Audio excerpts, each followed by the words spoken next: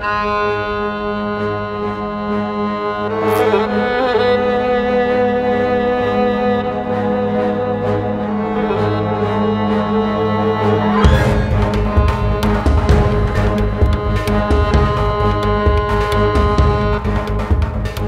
ਤਸਵੀਰਾਂ ਨੇ ਸ਼੍ਰੀ ਮੁਕਤਸਰ ਸਾਹਿਬ ਦੀਆਂ, ਜਿੱਥੇ ਦਿੱਤੇ ਗਏ ਨਿਰਧਾਰਤ ਸਮੇਂ ਅਨੁਸਾਰ ਅੱਜ ਸਕੂਲੀ ਬੱਸਾਂ ਦੀ ਅਚਨਚੇਤ ਚੈਕਿੰਗ ਕੀਤੀ ਗਈ ਅਤੇ ਚਲਾਨ ਕੱਟੇ ਗਏ।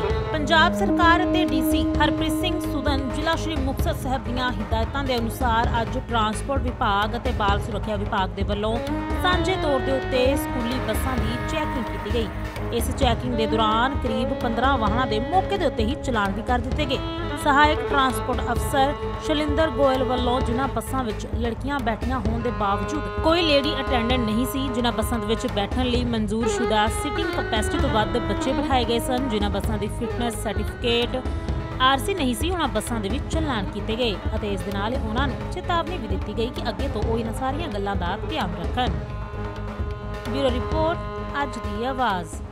ਸਕੂਲ ਦੀਆਂ ਵੈਨਾਂ ਦੀ ਚੈਕਿੰਗ ਕੀਤੀ ਹੈ। ਕਿੰਨੀਆਂ ਕੁ ਵੈਨਾਂ, ਮਤਲਬ ਕਿ ਜਿਹੜੀਆਂ ਕੰਡਮ ਨਿਕਲੀਆਂ ਤੇ ਕਿੰਨੀਆਂ ਕੁ ਵੈਨਾਂ ਜਿਹੜੀਆਂ ਚੱਲਣ ਦੇ ਲਾਇਕ ਹੈ, ਇਹਦੇ ਬਾਰੇ ਜਾਣਕਾਰੀ ਦਿਓ। ਤਕਰੀਬਨ ਅੱਜ ਮਿਤੀ 17/4/2024 ਨੂੰ ਪੰਜਾਬ ਸਰਕਾਰ ਦੀਆਂ ਹਦਾਇਤਾਂ ਅਤੇ ਮਾਨਯੋਗ ਡੀ ਸਾਹਿਬ ਦੇ ਦਿਸ਼ਾ ਨਿਰਦੇਸ਼ਾਂ ਦੀ ਪਾਲਣਾ ਵਿੱਚ ਸੇਫ ਸਕੂਲ ਵਾਹਨ ਸਕੀਮ ਨੂੰ ਲਾਗੂ ਕਰਨ ਲਈ ਸਕੂਲ ਬੱਸਾਂ ਦੀ ਚੈਕਿੰਗ ਕੀਤੀ ਗਈ ਸੀਗੀ।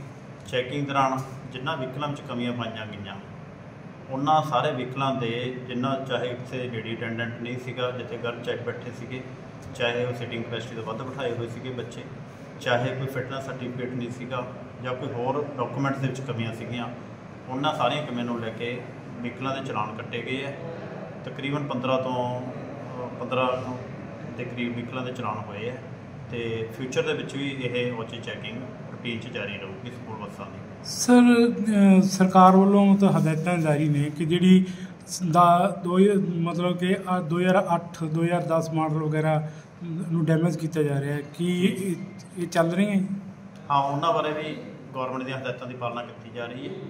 ਅਜਿਹਾ ਕੋਈ ਵੀ ਵਹੀਕਲ ਜਿਹੜਾ ਚੱਲਣ ਲਾਇਕ ਨਹੀਂ ਹੈਗਾ ਰੋਡ ਤੇ ਉਹਨੂੰ ਬਾਉਂਡ ਕੀਤਾ ਜਾ ਰਿਹਾ ਹੈ। ਪਹਿਲਾਂ ਵੀ ਵਹੀਕਲ ਬਾਉਂਡ ਕੀਤੇ ਹੈ। ਰੂਟੀਨ ਦੇ ਵਿੱਚ ਫਿਊਚਰ ਦੇ ਵਿੱਚ ਵੀ ਕੀਤੇ ਜਾਣਗੇ।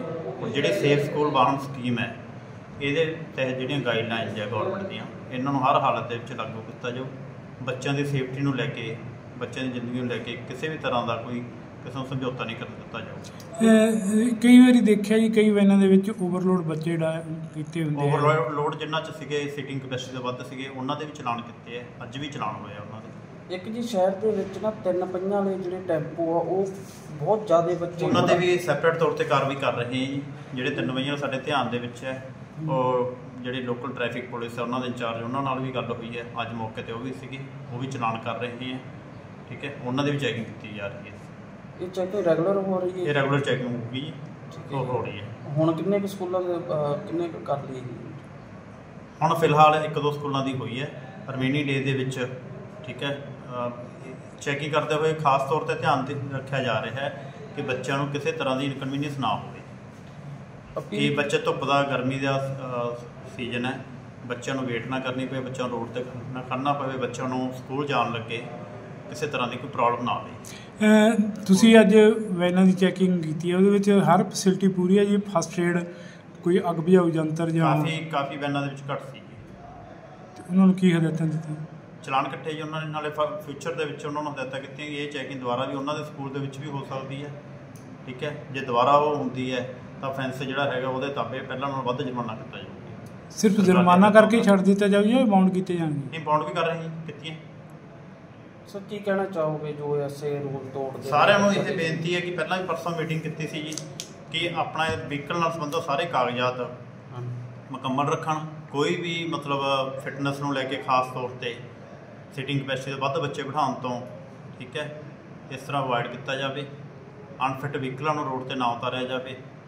ਜੇਕਰ ਕੋਈ ਅਜਿਹਾ ਵਹੀਕਲ ਸਾਡੇ ਧਿਆਨ ਦੇ ਵਿੱਚ ਆਉਂਦਾ ਹੈ, ਤਾਂ ਇਮੀਡੀਏਟਲੀ ਇੰਪੋਰਟ ਕੀਤਾ ਜਾਵੇ ਇਸ ਦੇ ਨਾਲ ਨਾਲ ਪੇਰੈਂਟਸ ਨੂੰ ਵੀ ਬੇਨਤੀ ਹੈ ਕਿ ਜਦੋਂ ਕੋਈ ਆਪਣੇ ਬੱਚੇ ਨੂੰ ਬਿਠਾਉਂਦੇ ਆ, ਤਾਂ ਉਹ ਜਿਹੜੇ ਵਹੀਕਲ ਦੇ ਵਿੱਚ ਬਿਠਾਉਣ ਲੱਗੇ ਆ, ਉਹਦੇ ਬਾਰੇ ਖੁਦ ਵੀ ਥੋੜਾ ਧਿਆਨ ਰੱਖਣਾ ਕਿ ਉਹ ਵਹੀਕਲ ਓਵਰਲੋ ਕਪੈਸਿਟੀ ਦਾ ਨਹੀਂ ਹੈਗਾ, ਉਹ ਵਹੀਕਲ ਕੰਡਮ ਹਾਲਤ ਦੇ ਵਿੱਚ ਤਾਂ ਨਹੀਂ ਹੈਗਾ। ਤਾਂ ਜੋ ਕਿਸੇ ਤਰ੍ਹਾਂ ਦੀ ਕੋਈ ਮੰਦਭਾਗੀ ਘਟਨਾ ਨਾ ਹੋ ਸਕੇ।